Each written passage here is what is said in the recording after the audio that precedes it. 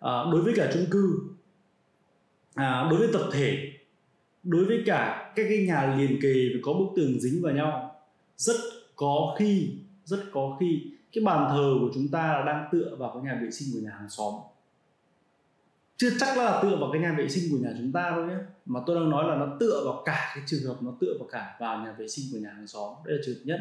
Trường hợp thứ hai là nhiều trường hợp anh chị cũng vô tình hoặc do không biết, anh chị để cái bàn thờ nó tựa vào trực tiếp vào cái nhà vệ sinh.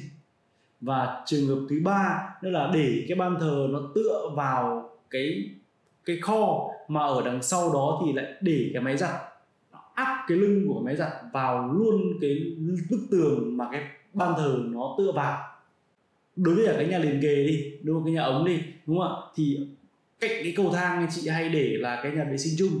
Thì sau đó là chúng ta lại đặt cái bàn thờ. Khi mà lên trên cái phòng thờ thì chúng ta không có xây cái nhà vệ sinh ấy nữa, mà chúng ta lại xây luôn cái không gian đằng trước của nhà để chúng ta làm cái phòng thờ.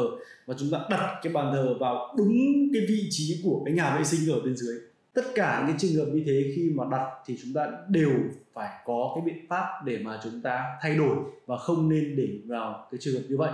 Và tất cả những trường hợp như vậy đều là không nên. Và chúng ta cần phải thay đổi vị trí của bàn thờ thay đổi cái vị trí cái hướng của bàn thờ hay thay đổi cái, cái khu vực đặt của bàn thờ để mà không bị phạm phải những lỗi trên.